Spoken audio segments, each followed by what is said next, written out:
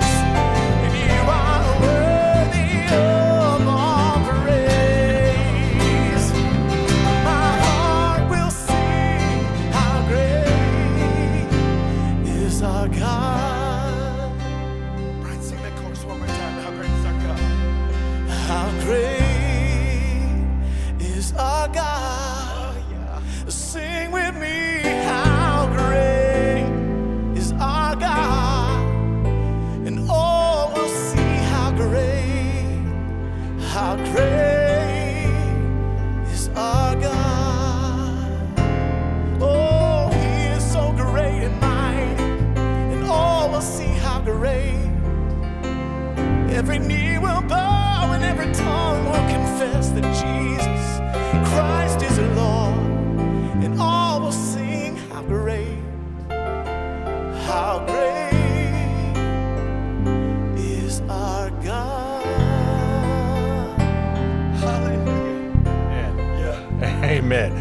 Amen. There's an anointing in this room today, and I believe there's an anointing in your room as well. Listen, call the prayer number 877 281 6297. Our guest today is uh, Paul Brady, mtulsa.com, Living Rivers Millennial Church. But Kurt, you're at the prayer center. What's happening?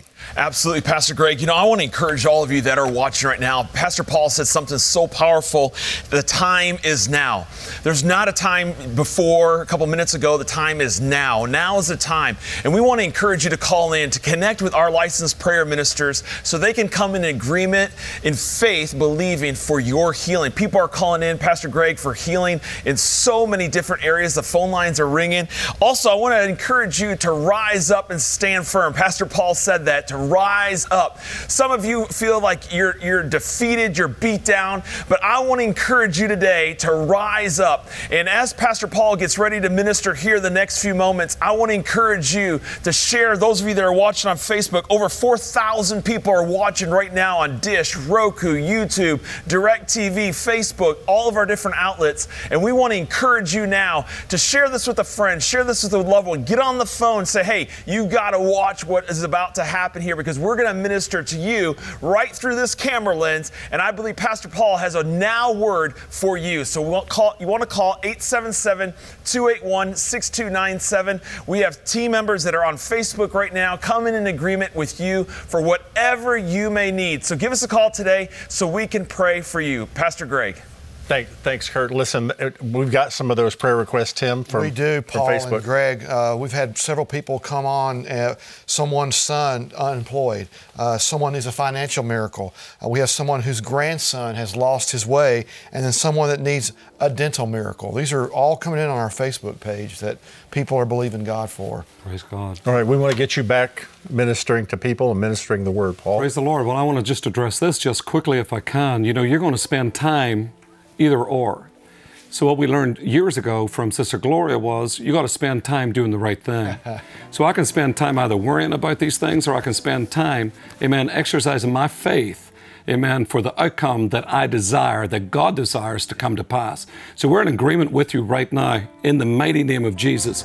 You believing for that financial breakthrough. Things things are right, lining up in the name of Jesus. Nothing to fear. God's got a plan plan for every single one of us. Amen. Things have to change. And we declare that change is coming to your house for all of your families, for these different prayer requests. Keep phoning in, keep asking, because I tell you, if you ask, you will receive. There's no doubt about it. Where two or three agree here, touching anything, it's going to be done, it's going to be accomplished, and great shall be the testimony. I declare the testimonies Yes. are coming to your house in the name of Jesus. Actually, I can hear a shout of victory. Amen. From your house, by because over this next period of time, you're going to hear, I'm telling you, good news in the mighty name of Jesus. That, that word says they overcame by the blood of the Lamb and the word of their testimony. Praise the Lord. That testimony is so important. Yeah, you got to speak it. Right. Yeah. Right. I tell people all the time, guys, we always hear what you need us to pray for, but tell us what the Lord did. amen. Because that, amen, encourages every single one of us. Praise the Lord. You've talked about the blood. Amen. I might just bring something quickly about the blood. Before that, I'd like to say this. Leonard Ravenhill said, when you're sitting in a dark room, you can either sit and curse the darkness or you can light a candle. Amen. So things are dark out there, but I tell you, where we sit, things are pretty bright. Yes. Amen. And I refuse to look at what is subject to change. Going into this this year, the Lord kept speaking to me the scripture from the book of Corinthians is that do not look at the things which are seen, but the things which are unseen. For the things which are seen are subject to change. Amen. Everything that you see going on now, even though there's a prophetic timeline, there is a prophetic, you know, path that everything must work out. You have to understand for us, the church, everything is subject to change. God is not leaving us defense, defenseless. Amen. He's given us everything that we need, everything that pertains unto life and godliness. You must never forget that. God has equipped us. Come on, Ephesians 6. He's given us his armor. We've got the armor of light. We are not down here just trying, my God, to do our best to get over this thing and just hope and pray that January comes quickly. Amen. My victory starts today. Amen. Come on. My victory starts today. I've heard so many people say, well, I'm just, I'm just, you know, I just believe this is going to go away with the election. In my house, it stops today, ladies and gentlemen. Amen. Why spend another, I love what Jesse preached years ago. You're going to spend another night with the frogs? No. Amen. Tonight, today is our day of victory. This is what this is all about. Amen. We're here. This is not a hype. This is not us just getting excited over just wonderful stuff. This is the power of Christ mm. that was given to us so that we could rule and reign, so that we could be the sons and the heirs of Jesus Christ. He gave us the power to become the sons of God. I mean, you didn't have to do nothing for that. He gave you the power to become a son. Amen. The moment that that happened, mm. you were transferred out of darkness. Amen. Transferred into the kingdom of his dear son. It's a scripture. We confess it all the time, but that's what it's just become for so many a confession. But where I live, it's my reality. I live in the kingdom of his dear son and his love. Me and Jesus are one. The glory of God is my reality. It's my existence. Amen. When I look at the view, I look at the view from the throne room of heaven. Why? Because I cannot pray from the earth. I have to pray from the throne room of glory. I am seated and clothed and in my right mind. And I declare that over you right now. Whether you're in the United States of America, whether you're in another nation around the world, God loves you wherever you are. And what God will do for this nation, He will do for your nation also. Ladies and gentlemen, God has got a plan. And you are where you are today because God placed you at a place that He needed to release Himself through you. You are not there because you chose to be there. You are there because God needed you to be there. And that's why I say, you know, wherever I find myself, that's the best place to be because that's exactly where God needs me to be at that time and at that moment. I believe today that people's lives are changing. I believe today that if you listen to this, God can sweep through your home, through your car, through your living room, kitchen, workplace, wherever you are. God's breath can literally breathe a freshness. He can bring restoration and repair to you. The power of His blood, ladies and gentlemen, will literally surround you and clothe you in Jesus' precious name. If you believe that, shout a big amen. amen, like, come amen. on, this is being ministered right now, not just for the sake of ministry, but because God's compassion is reaching for you. You say, Well, I haven't felt God in a long time. Whether you felt Him or not, ladies and gentlemen, you are in Him. He loves you. You are completely and utterly surrounded, saturated by His presence. Kathryn Kuhlman said this Living with faith and courage is something that life requires of each of us. Never, absolutely never give up. Never give in, no matter what. Fight through, and I promise you something with all my heart God will help you. Derek Prince said this, and this is my last little quote because I want a quote I want to speak to you from Hebrews 12. Derek Prince says this: "We are the decisive factor in the affairs of the universe. We are the decisive factor in the affairs of the universe." You know, today, I believe that there is a message, and you hear it from this place continually. It is a message of victory. When you listen to that message, it never lets you slip too far. Micah 7, verse 8 says that when I fall, I shall arise. When I sit in darkness, the Lord is my light. So even if you feel today that you're just holding on with your fingertips, at least you've got your fingertips still in the play, ladies and gentlemen. You're still in the game. Don't let the enemy ever think, or let you let you think that you're that you're too far gone, that you've let it slip too far, that you've done so many terrible things. Oh, you know, over this COVID period, I've just let things slip. Hey, I'm telling you, you haven't went so far. You can't escape the grace of God, you ladies can't. and gentlemen. Amen. I'm telling you, I'm born again by the Spirit of God, and the Spirit of God is my guarantee. And no matter how far I go, I'm still in God. Praise the Lord. I don't care how far I go, I'm still in God. And you must never, ever, ever forget that in Jesus' precious name. But I was ministering the other night and I was praying. And the Spirit of the Lord ministered to me, the blood still speaks. Now, you might hear other people talk about this, but this came so loud in my spirit because I've been talking about the systems of this world are being shaken and things are being overturned. Remember what I said earlier? Don't forget that the enemy is bringing destruction, but God is the repairer and He is the restorer. Do not get your eyes so focused on what's bad, negative, satanic. Get your eye off that mess. Get your eye on Jesus. Get your eye so firmly set on Jesus. Why? Because if He started you, He can finish you. Listen, if, if, if all we've got to look forward to now is the rapture, I'm in, ladies and gentlemen. Wow! What of you? What of you? Glory to God. Amen. We got to ride this thing out, but I'm going to ride it out in victory. I'm not running to the hills and the caves. Amen. God's got a plan. That's why we're here. Thessalonians says it, guys. Amen. That we are the restraining order in, of Jesus Christ, the church of Jesus Christ on the earth for such a time as this. Now, look at this in Hebrews 12, because I know we've only got a little bit of time.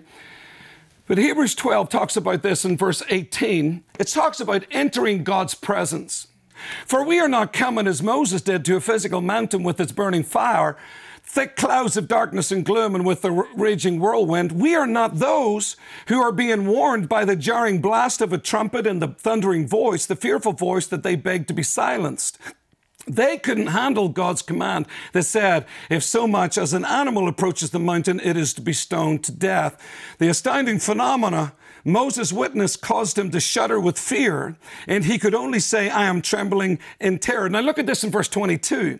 By contrast, we have already come near to God in a totally different realm, the Zion realm. Yes. For we have entered the city of the living God, which is the new Jerusalem in heaven. We have joined the festal gathering of myriads of angels in their joyous celebration. And as a member of the church of the firstborn, that's us right there, Yeah. a member of the church of the firstborn, all our names have been legally registered as citizens of heaven. And we have come to before God who judges all, who lives among the spirits of the righteous who have been made perfect in his eyes. And we have come to Jesus, who established a new covenant with his blood sprinkled upon the mercy seat, blood that continues to speak from heaven. I want you to say that with me right now. His blood continues to speak. I want to ask you today, can you hear his voice? Because I tell you, there are things that are out there can hear the voice of the blood. God is a master at doing what he does. The blood is still speaking, ladies and gentlemen, and you must not cower in fear in this day and in this hour. I declare it in the name of Jesus that the blood has never lost its power and it's never lost its voice, and the blood is still speaking for each and every Yes. one of you. And the enemy tries to come near your dwelling, the voice of the blood begins to speak in the name of Jesus. I believe that that blood can be heard. I believe the life is in the blood, and I believe in the power of the blood right now. We'll say it again. No matter what's going on in your life, it is subject to change. No matter what's happening right now. That's why the prayers are standing ready to take your call because in times of distancing and isolation, they do not, we do not want you to be on your own. This is why this is so wonderfully, powerfully, you know, positioned by God right now because you are not on your own and you must never allow the enemy to have you with this fixation that I, uh, I, um, I, I'm on, all on my own. You're not. We are with you. The Spirit of God is with you. The angels of heaven are with you. Something of a heavenly nature is taking place right now in the name of Jesus. Come on, somebody shout a big amen. Amen. I believe Something it with all my heart. Guys, right now, wherever you are, begin to release your faith. Begin to release, amen, even praying in the Spirit right now. Begin to lift that up. Begin to just rise right now. Amen. Come on, we're here to help you. This is like our very own prayer meeting right here in your living room.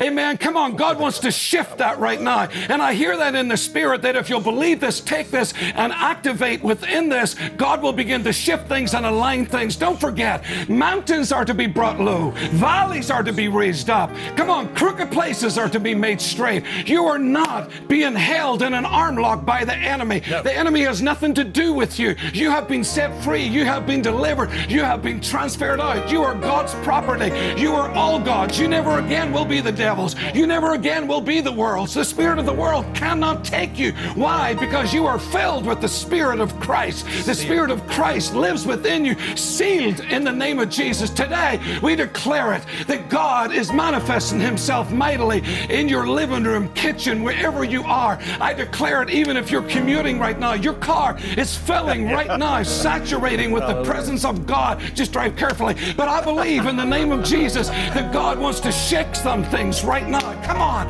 We are of a kingdom, and Hebrews 12 says that cannot be shaken. But I tell you, this anointing that is operating now is shaking the system to the to the core. It is shaking this world to the core. What this world wants to do is shake the church to the mm, core. But the church is rising, and we're getting wiser to the satanic attacks and the satanic programs, these devilish enticements, this, this, this, all of these different things, ladies and gentlemen. We're not buying the lie anymore. We're not taking that anymore. Why? Because the power that works within us now is shaking the systems of the world, amen, to the very core. You can see they're scrapping, they're fighting, they're trying to get their, you know, the word in here, they're trying to get a punch in here. But let me tell you, we are the victorious church and we fight by faith. It is that faith, ladies and gentlemen, that overcomes every single thing, even the world. Today, in the name of Jesus, we declare it that you do have a voice of victory, that you do have that spirit of victory in your home, in your children.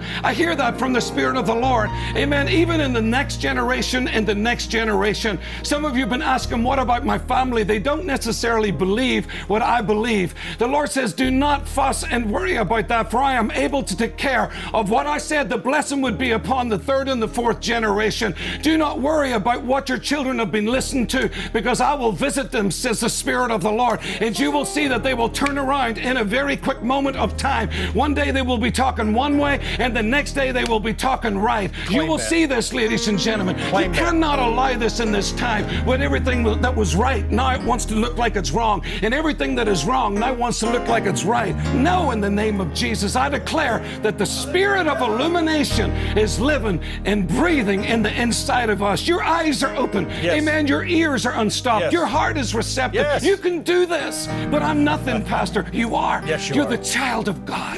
And you have the promise of the Father, the promise of the precious Holy Spirit. What about that? God is a consuming fire. Yes. Finishes off Hebrews 12 just with a little check mark. I am a consuming fire. No matter what's going on, believe us, it's subject to change. You say, but you're the preacher, you're the pastor, you're the fire. No, listen. He ministered to the whosoever so that the whosoever could do whatever. Mm-hmm. You're primed, you're positioned. Adopt the right posture for the hour that we live. That's so good. As we've come through what we've come through, just know Winston Churchill says that if you're going through hell, just keep on going. Amen. There's light at the end of the tunnel. Today I declare that this is the day that the Lord has made, and you will rejoice. That even as we come to a close, I declare that victory is yours. Father, I minister to every person right now, wherever they are, whatever nation, whatever continent. Father God, people hurting. I just declare that the healing balm of Gilead flows through these cameras, touches people every single place. Father God, where there's no hope anymore, bring that hope back. We take authority over that hopelessness. We declare, we declare peace that passes all understanding. We declare good company in the name of Jesus so that you can build strong a tower of God's strength and God's ability. God's love surround you. God's angels administering to you, administering for you. This same spirit of faith that we have. I believe, therefore I speak. Hmm. What you're going to say over this next period of time can make the difference between life and death, blessing and cursing. I believe that as you've heard this today, I believe that your life will change. With all the word, with everything that we've heard over all these years, just know that there's a seed in here somewhere of a message that you heard from this ministry that has the power to change your life forever. I sense this anointing so strong. Yes, amen. I sense His love, just wanting just to sweep around you, flow over you. Father, touch your people. Glory to God. Help them. You said that you sit in the heavens and you laugh. Hmm. So, Father God, we thank you for a spirit of joy that comes upon those that have been depressed, those that have been heavy hearted, those that have lost loved ones. I declare, Father God, you're not the God of decrease. As I said, you're the God of increase. You're the God of more. And so, Father, I declare that you're the father to the fatherless. You're the husband to the widow. And Father God, you're the wife to that husband that has no one. We declare today, Father, generationally, Amen. we are blessed. Yes. We declare today that your anointing destroys yokes and removes burdens. Come on, just in this last couple of minutes, call in. Let us agree with you in prayer. Come on, they're standing ready. Amen. To take your call. These people want to hear. Amen. Not only to hear, but we want to activate. We want to agree. We want to take authority over. We want to declare, decree in the name of Jesus that your life will never be the same again. Guys, we're not looking for doom. This is revival. This is awakening. Every time somebody shouted a pandemic, I said, This is an awakening unto God. I would never allow them just to allow that pandemic. I would To just say, out This there. is an awakening Yeah. unto God. Hallelujah. I You were talking about a while ago, so we're in a kingdom that cannot be shaken. And my mind instantly went to the Apostle Paul. One of the darkest times, a viper hits him, and what did he do? He shook, Shook it off. what was trying to shake the kingdom. That's such a because the kingdom of God was in him. Paul, not too long back, I was allowing myself to get overcome, and I, I just I went to the Father and I said, Dad, I don't I don't know how to pray. I don't know whether to do prayer of agreement or prayer of faith. I don't know what prayer to do. And here's what I heard: Pray grace. Come up to my place. Pray from where I'm at. Glory. Pray from where I'm at, from the position. That's what he's been talking to you about, is your position and who you are in Christ Jesus. You're stronger than you think you are. You're more anointed than you think you are. Here's what God does He takes full time ministers and He disguises them as school teachers and He places them in a school. And He takes full time ministers and disguises them as police officers and, and sticks them in a car somewhere. He takes full time ministers and disguises them as whatever it is that you are. That's what you got to see yourself. You are here for such, Such a time as this right now. 30 seconds. Last thought or prayer? The greatest days of our life. That's all I can say. You know, people said if I could live at another time, it would have been better. But I tell you, there's nothing better like the time you're supposed to be here. So don't wish your life away. Use the life that God has given you to bring glory to the Father. The power of the Spirit will operate in and through you like you have never dreamed He would ever do. It's your life. Live it. It's worth living. And I tell you, the best has yet to come. Listen, I want to encourage you. Thank you, Pastor. No, so it's much. my pleasure. We, I we have been blessed Thank you for and enriched. Where's this church? It's in Tulsa, Oklahoma. Living Rivers Millennial Church, mtulsa.com. Continue to call the number on the screen. We're going to stay there. The phone ministers will be there, 877 281 6297. Okay, let's go out with a shout of victory. Let's go out with a song. David, take it out.